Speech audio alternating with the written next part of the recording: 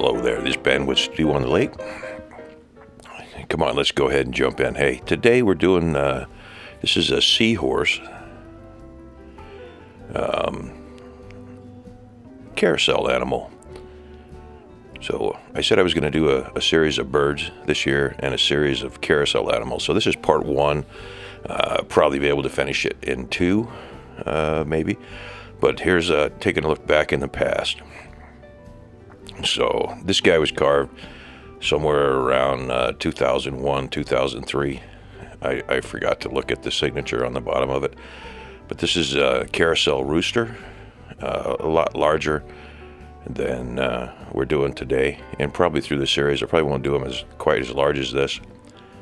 But this is one that I kept uh, when we had the wood carving shop up in Cold Springs, New York, across from West Point. And uh, here's another one.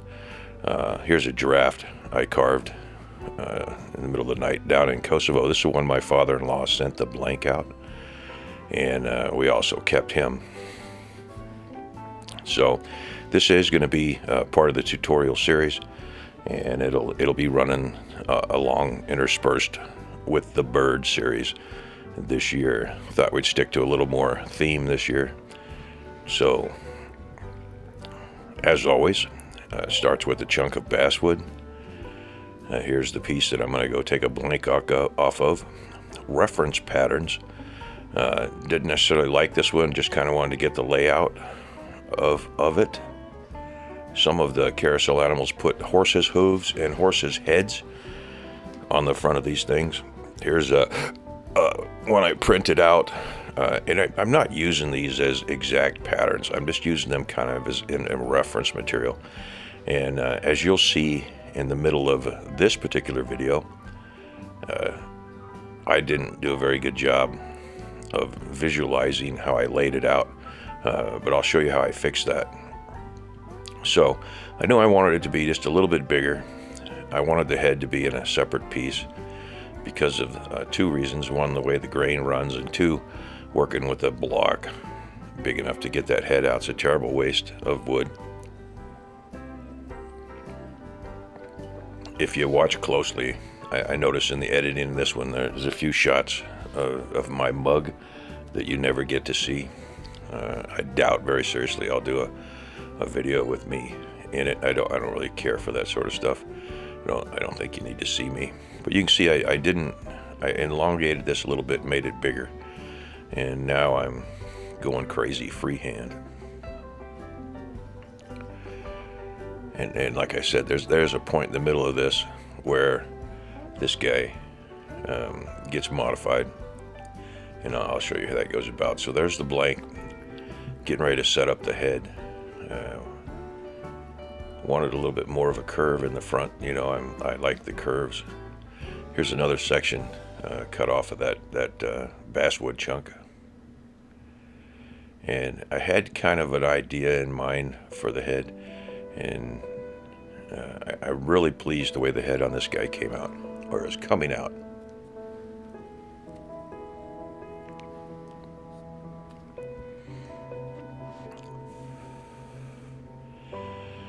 So there's what I'm thinking. I got the head cut out, and I'm going to place it off to the side. This is going to be a carousel uh, up on a stand.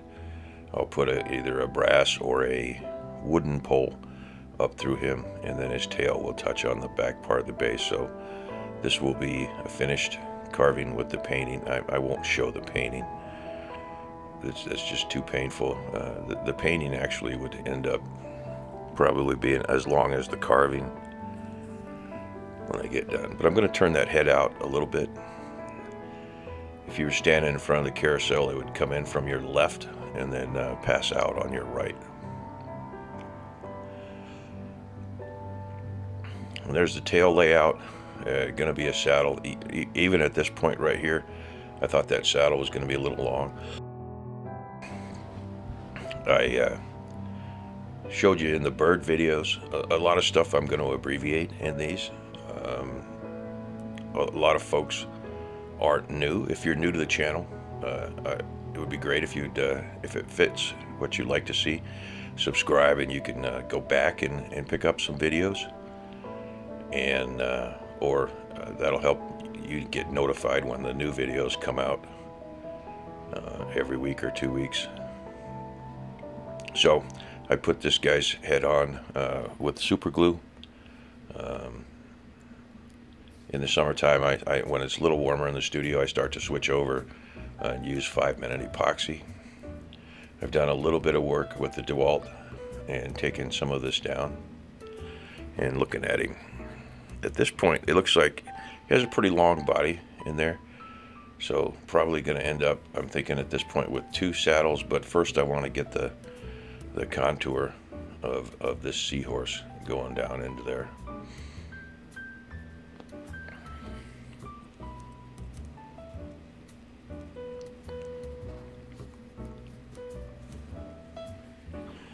That's a Ramelson bench knife. I, have had that probably two years, two years and some change. And it just takes a couple of strops to go in there. So now the shape of him starting to come out a little bit. And uh, at this point, I, am I'm, I'm not really working from a pattern anymore. I've, I've got an idea where I want him to go and how I want the flow laid out. And as I always do, I'm putting back in reference lines. I am going to put glass eyes in, in this. And I, I like the shape of it. Uh, but I, I, keep looking at the back of him and I'm thinking uh, that's going to be a two-seat carousel animal because the saddle's really long. But I, I ignore that till I get to that point. If you've watched the bird videos, you know that uh, I think the head is the most important part, probably. It's the one that gives you all of the expression and lays the sets the character for the whole thing. So I'm going to spend a, a, little bit of time getting the head uh, shaped down, and if I like it, then I'll continue on. If not, um, I would cut that head off and, and, redo it. But this one seems to be uh, coming out like I like, and I'm going back and putting those reference lines in again always always re resetting the reference lines. The carver is from uh, it's a micro carver from uh, PJL Enterprises over there in Minnesota. They're hard to find on the web, and once you get on their website, it's a small company. I, I suspect it's still done by one guy. And uh, there was a time when they were readily available. He used to ship those out and uh, a lot of distributors carried them. I, I don't think anybody does anymore. I haven't had any success. Uh, I haven't tried real hard, but uh, I'm going to call him one of these days and uh, see if I can't set up some kind of a dealership thing with him. Maybe I can offer these to you. They're going to be in the three, four hundred, hundred dollar range, five hundred dollar range, I suspect, which is is kind of in the mid range of uh, carvers. So I'm coming down, I'm leaving the, the top a little bit square there because I want to I want to cut a, a, saddle out of that. And it, it is looking like a two-seater. So some of the old carousels, when you go back and look at them, some of the animals were elongated a little bit. And they would put two saddles on there, or two seats in the saddle. Um, and, and, of course, you could put two kids on there. Because those of you that have kids or grandkids, know sometimes one kid won't go by themselves, uh, but they will go if their friend or, or brother or sister uh, will get on there with them.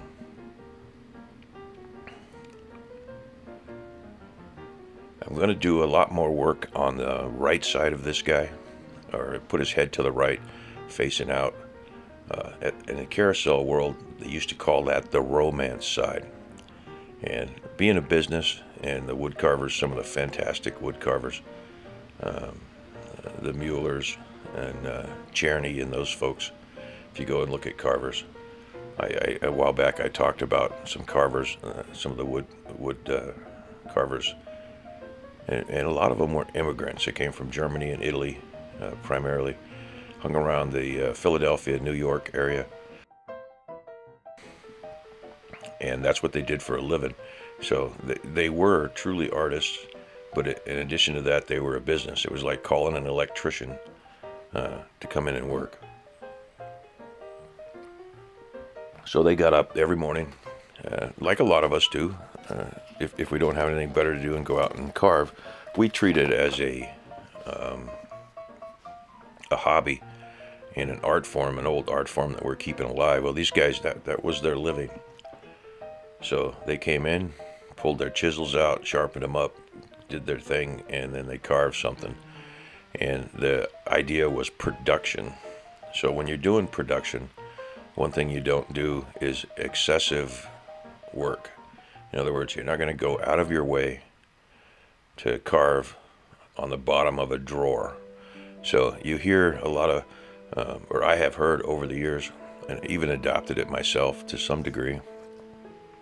You'll hear a, a cabinet maker or someone who's making a cabinet out in their garage, and you'll see them sanding the bottom side of a drawer and making the seam all smooth and pretty. And the standard is someone asking, "Well, why are you going to do? Why are you doing that?" No one's going to see that. And uh, the person looks at him kind of miffed and says, Well, I know it's there, therefore I have to fix it. These guys didn't think that way. Uh, so they carved the romance side, which would be the outer portion, and the backside was left not rough, but they didn't go out of their way to put all the fancy little details on it. It had the shape, it had uh, practical function on it, but they, they didn't put the roses and the, the um, ribbons and, and all that sort of stuff on the back. So the back is, is was typically carved a little different than the front. So here I'm laying the tail out on the scroll, and I, I wanted one complete curl of the tail. And uh, that's working out good. I, I, like the way that's coming up, and the, and the tail is going to have some grooves in it. So initially I, I slapped this in there and started on it. And then I decided that it, it kind of was had the wrong angle going on it, and I'll show you that in just a second here.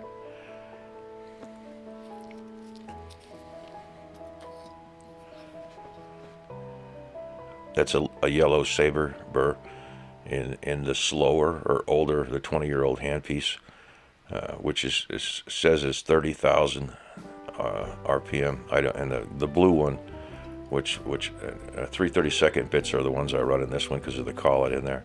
I like the two of them. I have the two controllers there. One I got for Christmas, this was probably three years ago now, which is newer. This one has been sent back to the factory one time for uh, brushes and uh, bearings in the front, even though it didn't necessarily need it. It was just getting a little a little loose.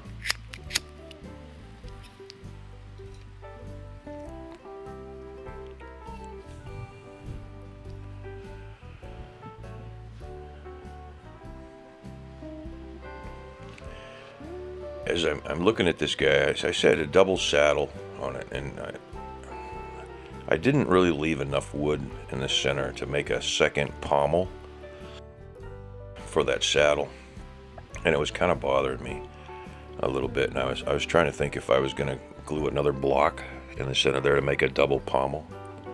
The second thing that I'm working at, that hump I left in the front behind his neck, is is where the pole is going to go through, uh, the mounting pole and as these are mounted on a carousel, uh, they the pole rises up and down on a, on a pretty cool mechanism actually, real simple one as it goes around, and that gives you the the ride in addition to the calliope music that's going in the background. So there's the front of the front saddle on the two seater. Then I'm going to go ahead and lay out the back saddle this will have a couple layers and probably a, a blanket scroll, double scroll, I'm thinking, uh, behind the saddle underneath it to hold it up. And I, I haven't really laid that part out, but I left it there. So here's the front saddle seat, contoured in. These look kind of neat when you when you if you do the saddle right on these and you you paint them correctly and stain them. They'll have little highlights and whatnot, but the, it, it just is kind of neat. There's something about a carousel animal that intrigues people. I, guess that would represent a good day. You go down to a park that has a carousel. There's uh, quite a few of them uh, still around today, uh, meticulously restored. In a lot of cases, a lot of cases, a lot of them have been animals have been changed over to fiberglass. Wood doesn't have a tendency to stand up well over the years. A lot of these carousels were uh, left out in the winter and nothing happened with them uh, since they were primarily up north. And then just a secondary abuse of uh, bunch of dwarves getting on them all the time.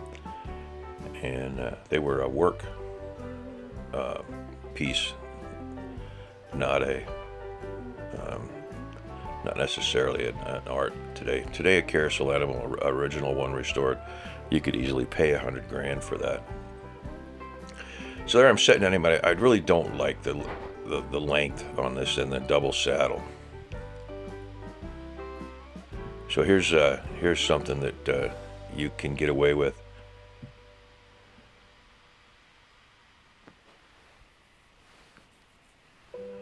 I'm going to uh, go ahead and uh, saw him in half and take that section out of the middle.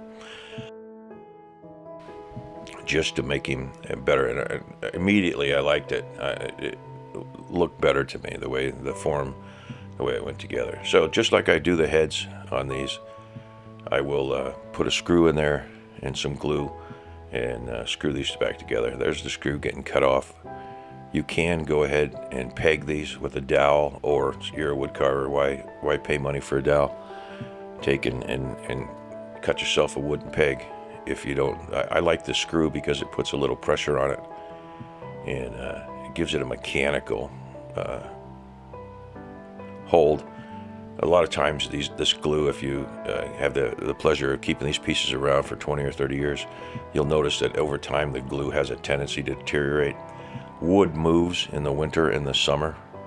And uh, the rooster was glued up in several pieces. Well, he, you can see the cracks in that uh, in the wintertime. Then in the summertime, it, the wood swells back up uh, from the when the heat goes off at the house and the, the crack closes up, just like all, all, wooden furniture does. So if you build this in several pieces, there is a point in the future where um, those joints will show. So ha they have to be well designed uh, but I think that's part of the beauty of these pieces when, when you you know it's old, you know it's 100 years old as the wood shrinks, you can see the cracks and, and that sort of stuff in it.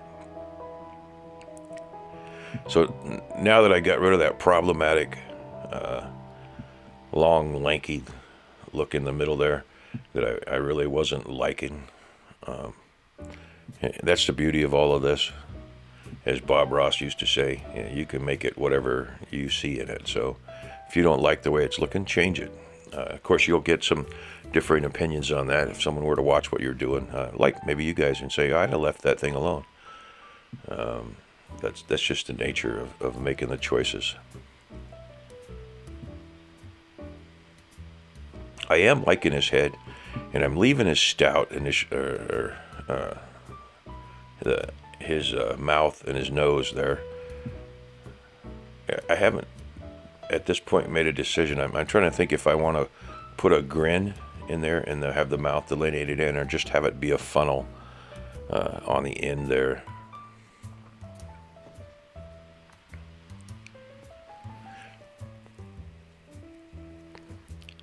I do have a lot more of the carving done. He, at the time of this, he is he is not com not completely finished. Um, where where he's at is what I showed you in the beginning of this and then the end there and I, I, I stopped this right around 25 minutes I'm trying to keep keep these under 30 a couple of the other teaching videos I went on for uh, pretty close to an hour and that might be a little excessive my glass eyes are starting to uh, dwindle down and I, I need to put another order in I, I order these probably once a year and I'll order a couple hundred dollars worth of eyes. I order them from Tohickon uh, Glass Eyes, and Tohickon is a taxidermy company that makes uh, animal eyes. Some of those animal eyes are 40 or 50 bucks. You can get, if you're carving snakes, uh, you can get snake eyes because they look a little different. You can get owl eyes. If you're doing competition pieces or just want them to look a little more realistic, you can uh, look up on the web. Somebody has gone through the trouble and expense of, for example, uh, a common loon. You can look on there and they'll tell you what the eyes are 12 to 14 millimeter. Um, red, brown, hazel. They come in every different color and every different pupil shape. You can get bear eyes on there. You can get cougar eyes, uh, bobcat. You get the idea, and cat's eyes, that sort of thing. But uh, I just order an assortment, and I tend to order uh, the the basic glass eyes. Uh, I don't know how to describe this when you go through the channel. You'll be, or if you go there and look at glass eyes on Tohickon, you'll be overwhelmed. And I tend to, to use a professional grade, uh, standard eye with a spherical design in there. So uh, I got it down to a brown and a red. I, I like the red. Uh, the red seems to be working good for me, and that's about the size. That's probably a 12 millimeter, if I were to guess. So I've got a little work to do around the face or the forehead, the eye socket there before I put that eye in. And uh, right at that point, he's just set in there. He's not, it's actually not put in yet. It's just sitting in the, in the pocket that I did. Actually, I might have lied to you. Uh, but I, I, I'm going to stay away from that eye and try not to tag it with the um, the burrs because they it is glass and it, it will um, scratch. If you happen to scratch one of those, you can. I've said this a thousand times. You can take some clear fingernail polish or clear lacquer and put a drop on there. Uh, it does compromise the eye a little bit, but it takes away the the part that, that you can obviously see because it, it doesn't reflect correctly. So there's what I'm thinking uh, that I'm going to carve down. And then this guy in the second video, you will get um, the bridle straps, for lack of better reference, that I'm going to put on there. So you see, I got the eye socket set in. I put the eye in, looked at it. Now I'm doing the stuff that around the eye that I would be that I would probably tag with the burr. And this is this is a little sapphire bit, a smaller one. A, or a ruby, probably.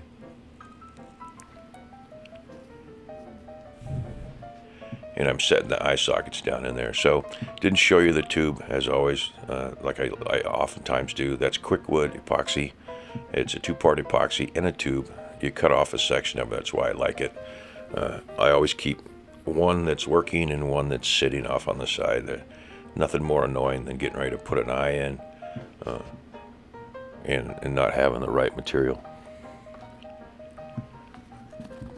So on this, this character here, um, being on the teaching side, you can see that I, am almost always using, if you go back and look at those other videos, and again, I would entice you to subscribe. It certainly helps out the channel.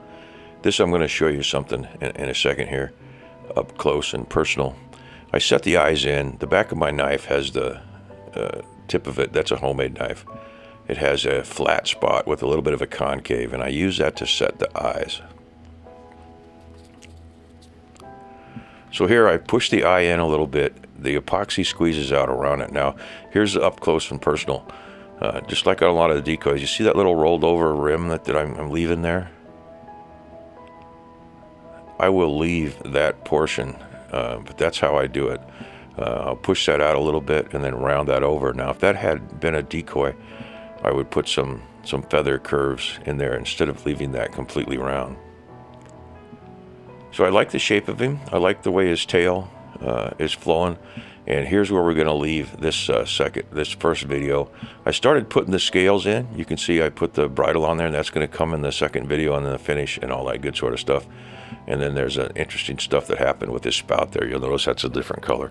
But uh, subscribe, like, comment, and uh, stand by for part two of the first of the Carousel series. Hey, thanks a lot. This has been Ben with Studio on the Lake.